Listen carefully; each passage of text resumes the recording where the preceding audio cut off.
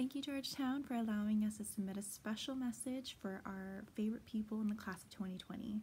One of my favorite people in the world is a graduate student named Michael Martin Meeks. Michael, you did it. You have worked so tirelessly throughout the past couple years pursuing your graduate degree, and I couldn't be more proud of you. You have always, ever since we were kids, you have always been that person that achieved way beyond anyone's expectations, working tirelessly towards your goals and dreams.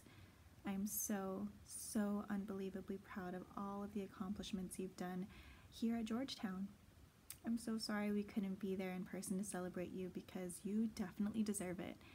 But just know that your entire hometown in California is celebrating you on this very special week. I couldn't be more honored to know you and have someone like you in my life. Congratulations, Michael.